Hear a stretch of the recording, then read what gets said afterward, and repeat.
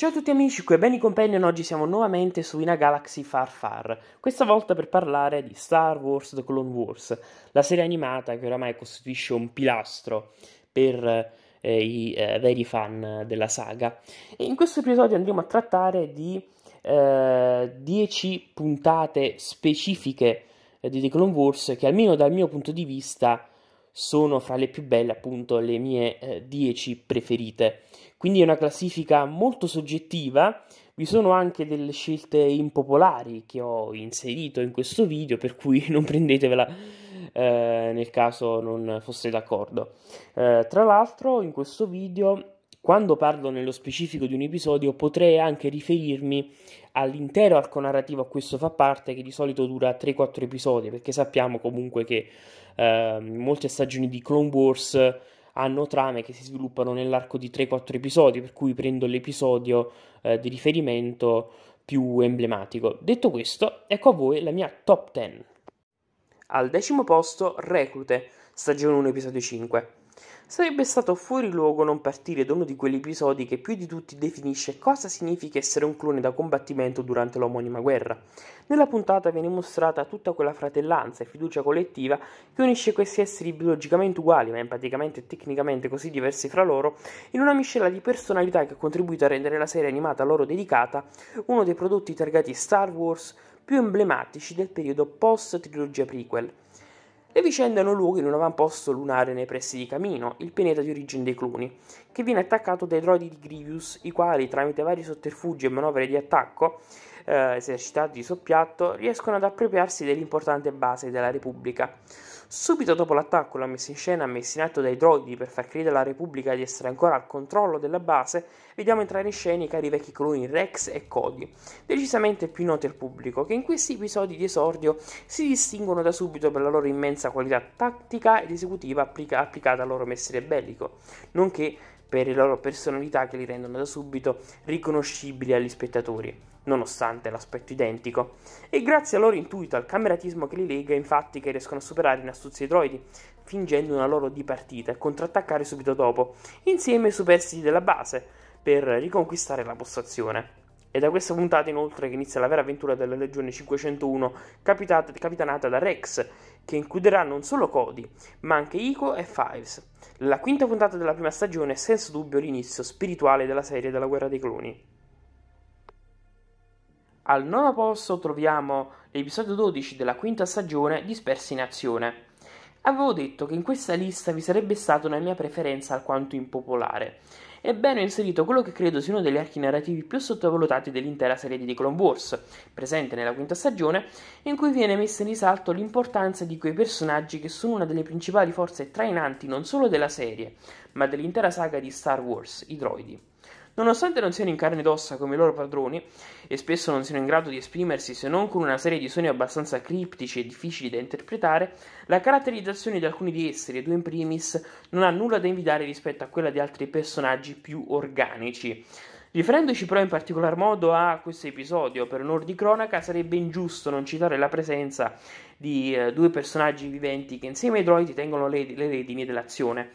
Eh, il primo è Mebur Gascon, colonnello della Repubblica scelto in una missione di recupero a dati complicata, ma facilitata dalla sua piccola statura, principale motivo per cui egli viene scelto per l'incarico, durante il quale abbiamo la possibilità di assistere a gag simpatiche sorte fra lui e i suoi insolenti compagni di viaggio. Il secondo è il clone Gregor, che, vittima di amnesia, non ricorda né il suo passato né la sua appartenenza all'esercito dei cloni. Sarà proprio lui, alla fine dell'episodio, il protagonista di una scena in cui assistiamo a tutto il coraggio di cui si avvalgono i cloni durante le loro battaglie. Gregor, infatti, metterà a repentaglio la sua stessa vita per la portata a termine della missione eh, dei droidi di Gascon, in una scena che culmina con una drammatica esplosione che metterà un punto interrogativo sul suo fatto, che però verrà rivelato in Star Wars Rebels.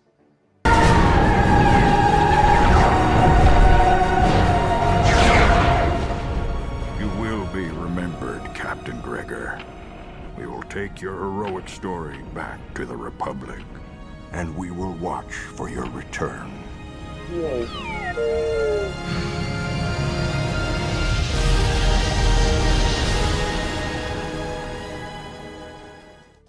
All'ottavo posto l'Unione fa la forza, stagione 3, episodio 1. Cloni non si nasce, lo si diventa. Lo testimonia il pilota della terza stagione, dove una piccola unità di cadetti, la squadra Domino, è alle prese con la prova finale del proprio addestramento. Un'esercitazione che metterà a dura prova soprattutto la loro capacità di fare gruppo, perché in guerra chi combatte solo per sé è un uomo morto. Questa lezione e altre sulle qualità di un vero soldato vengono insegnate paradossalmente da 99, un clone difettoso ma anziano che nonostante non abbia mai solcato un campo da battaglia dimostra di essere fra i cloni più meritevoli di onore e rispetto fra i suoi fratelli, capace di infondere spirito di coesione e coraggio ai suoi compagni più giovani che grazie ai suoi consigli alla fine porteranno a termine l'addestramento nonostante le difficoltà iniziali. Quello di 99 è uno degli archi più tristi di The Clone Wars, soprattutto per via della triste fine che lo attenderà successivamente nella serie, dove rimarrà ucciso durante l'invasione dei droidi su Camino.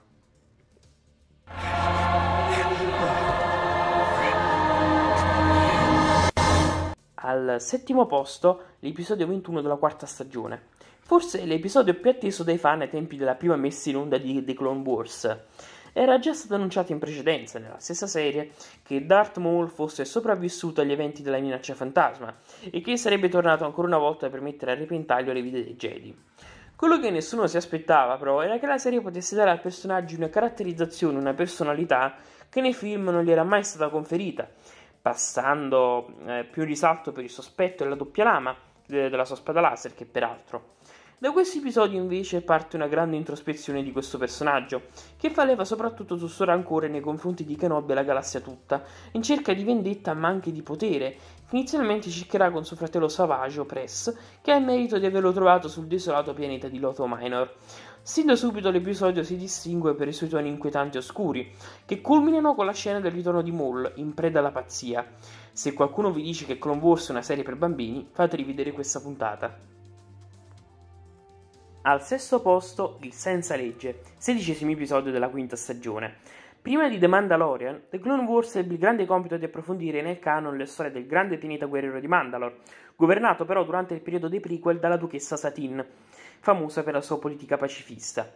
Questo arco narrativo rappresenta uno dei periodi più bui però del suo governo, in quanto viene spodestata nel corso dell'episodio da Darth Maul e i suoi alleati, il primo autore di questo attacco al trono mandaloriano, avente il fine di attirare l'attenzione del suo arcinemico Kenobi, che ha una speciale connessione con la duchessa, che alla fine muore per mano del Sith, in una delle scene più tristi e inaspettate della serie.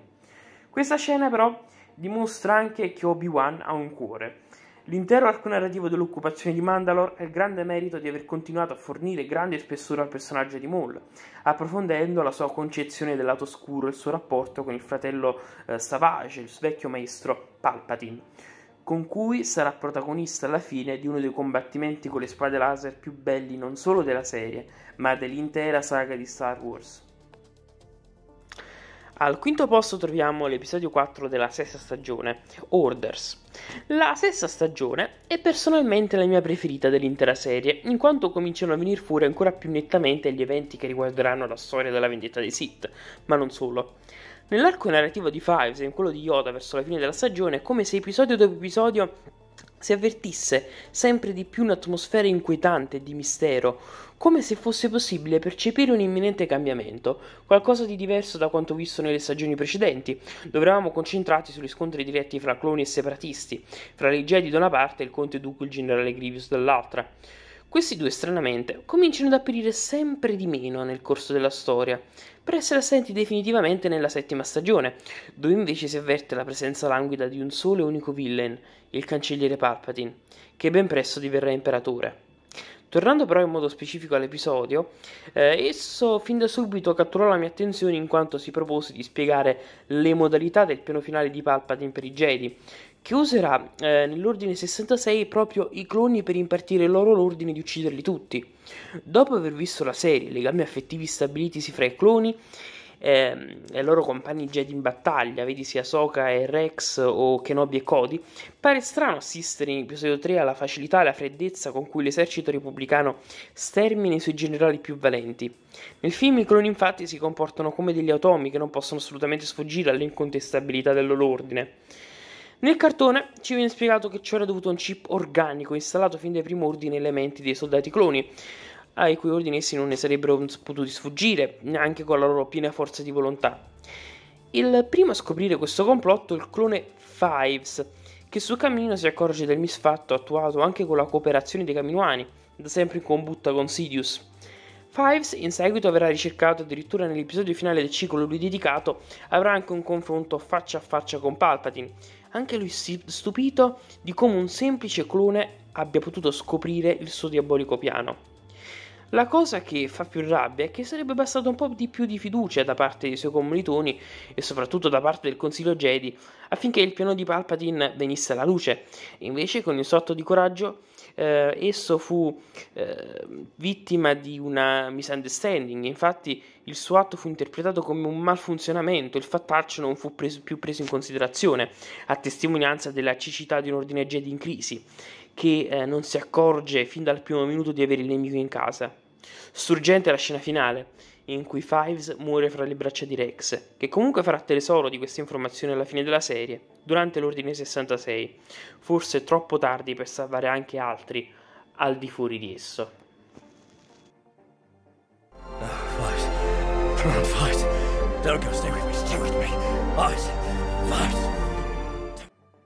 Quarto posto per l'episodio 20 della quinta stagione, il Jedi sbagliato. Questo episodio mi ha fatto innervosire come pochi. Ancora prima delle mancate attenzioni nei riguardi del fattaccio di Fives, il Consiglio Jedi esce ancora una volta sconfitto moralmente da un evento spiacevole che riguarderà in prima persona la padavona Soka, accusata di un attentato al Tempio Jedi e anche dell'omicidio di una terrorista che ha eseguito direttamente i suoi presunti ordini. Ovviamente so che è innocente, e la vera colpevole è l'amica Suketana Barris, la mente dietro l'attentato, avente il fine di scoraggiare gli Jedi nel proseguimento della guerra. Mai come in questo momento lo spettatore potrà uscirsene così deluso dal comportamento del Consiglio Jedi, e in particolar modo da quello dei maestri Yoda e Mace Windu, che per poco, via della loro incapacità di gestire questa situazione critica e non avvertire il lato oscuro nei veri colpevoli, rischiavano di rovinare la vita a una loro innocente apprendista. Forse Palpatine in parte aveva ragione a dire in episodio 3 che era stata proprio l'arroganza e la debolezza dei Jedi a condurli in un declino inesorabile, che nel preordine 66 trova appunto il suo momento clou in questo evento, di fronte al quale anche Ahsoka al termine della vicenda si renderà conto che l'ordine dei Jedi è entrato in contraddizione oramai con se stesso, provocando addirittura danni al suo interno. La scena finale di Ahsoka, che lascia il palazzo, è la più emblematica dell'intero cartone. E anche questo è un evento che contribuirà al passaggio oscuro di Anakin, che si vedrà costretto anche a rinunciare a uno dei suoi più, più fidati alleati per via dell'ennesima inadempienza di un consiglio dei Jedi destinato a crollare su se stesso.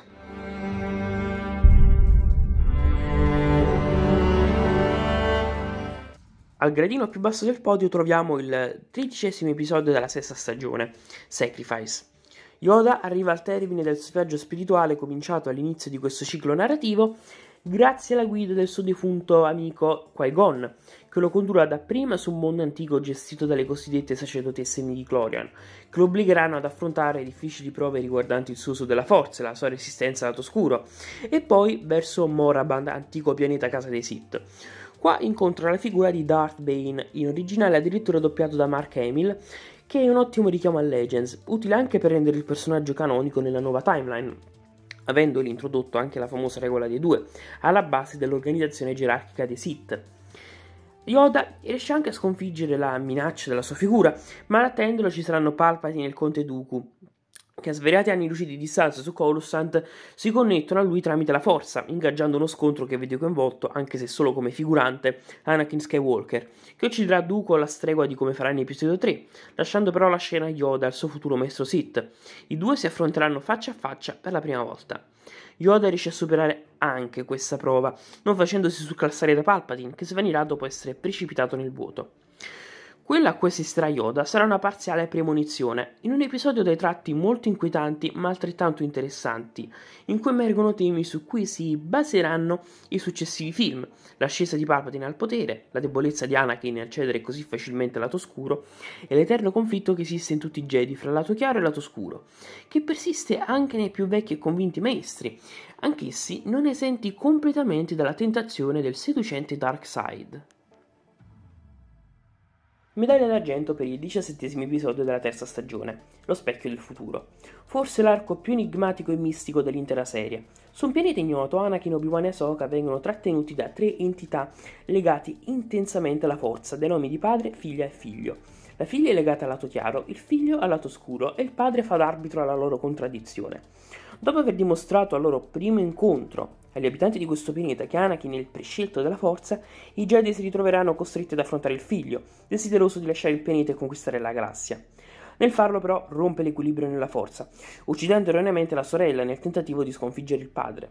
Il figlio e Anakin si incontrano il primo fa vedere al Jedi attraverso una visione il suo futuro prossimo, la caduta dei Jedi e l'ascesa dei Sith, con la sua trasformazione in Darth Vader. È la prima volta dunque nel canon che assistiamo ad Anakin convertirsi completamente al lato scuro, dimostrando come questa sia stata sempre una tendenza nell'animo del Jedi, vittima della paura del futuro disastroso che lo attende, che lo conduce inevitabilmente all'ira. Il padre però successivamente cancella la memoria di Anakin e si riorganizza con i Jedi per la caduta finale del figlio, dopo un sacrificio disperato attuato appunto dal suo vecchio per indebolirlo. Questo episodio è stato una vera manna dal cielo per i fan, come un anticipo dell'impero nel bel mezzo della guerra dei cloni, a dimostrazione del fatto che in Star Wars tutto è connesso, tutti gli eventi rimano fra di loro, come direbbe George Lucas. L'eterno conflitto fra lato chiaro e lato scuro si concretizza nelle figure di questi nuovi personaggi, che rappresentano la reincarnazione della filosofia delle loro rispettive ideologie. Ci sarebbe da chiedersi inoltre cosa sarebbe successo se l'alleanza temporanea fra il figlio e Anakin avesse avuto successo e cosa sarebbe avvenuto in tal caso. Una cosa è certa, ascoltare in The Clone Wars per la prima volta il tema di Darth Vader durante la visione di Anakin non ha prezzo. Al primo posto il dodicesimo episodio della settima stagione, Vittoria e Morte. Dopo una settima stagione partita in sordina, il ritorno di The Clone Wars comincia a farsi sentire con la parte finale dell'intera serie, con la conclusione della sottotrama riguardante il conflitto di Mandalore già approfondito appieno nella stagione precedente, e con l'ordine 66 finalmente portato in scena anche in questo prodotto targato Star Wars. Dopo aver spodestato Darth Maul dal trono di Mandalore, Ahsoka è entrata come aiutante dei cloni dopo un periodo di lunga assenza dal suo abbandono dell'ordine è eh, costretta ad affrontare l'imprevedibile. Il cancelliere, rivelatosi mm, come il eh, signore supremo dei Sith, Darth Sidious, emana l'ordine 66, tramite il quale tutti i cloni hanno l'obbligo di uccidere i loro compagni Jedi, al quale obbediranno senza esitazioni, prevede un chip organico installato nelle loro menti. Rivedere questa scena sotto una diversa prospettiva dopo averla assistita in pieno in seguito all'episodio 3 fa ancora più male, soprattutto se riguarda Soka, che fanno imparato ad apprezzare nel corso di sette lunghe stagioni. Ciò che mi ha fatto più impressione di questo episodio, però, è il graduale cambiamento dell'atmosfera e dei toni nel corso dell'episodio. Momento dopo momento la situazione si fa sempre più cupa. È come se, mentre stessimo guardando The Clone Wars, fossero proiettate nelle nostre menti gli eventi clou del terzo film, che hanno luogo esattamente negli stessi istanti. Nella galassia, infatti, sta succedendo qualcosa che eh, fa venire la pelle d'oca persino uno dei signori oscuri più temibili che siano mai esistiti, Darth Maul, che aveva in precedenza inscenato tutto il conflitto di Mandalore solo per attirare Anakin ed evitargli il destino che Palpatine aveva previsto per lui. È terribile inoltre vedere i cloni con i caschi dipinti a modo la faccia di Ahsoka attaccare la loro stessa amica, non coscienti di ciò che sta avvenendo. L'unico che almeno inizialmente desiste dall'ordine Rex, che avverte in tempo Ahsoka di ciò che sta succedendo. Dopo aver rimosso il chip a Rex, Ahsoka e il suo fidato compagno di guerra riescono a scappare dalla nave, ma a caro prezzo, consci ora di vivere in una galassia del tutto differente da quel che conoscevano. Alla fine di The Clone Wars non poteva non comparire lui, Darth Vader, una presenza non del tutto scontata, che recupera la spada laser di Ahsoka sul luogo di atterraggio della nave, dove era sfuggita. Il clima glaciale del pianeta all'arrivo di Vader non è altro che lo specchio della sua anima, che neanche i ricordi possono salvare. Bene ragazzi, questa era la top 10 degli episodi di Star Wars The Clone Wars. Scrivetemi nei commenti qual è invece la vostra lista delle puntate preferite della serie animata e noi ci vediamo alla prossima. Ciao a tutti!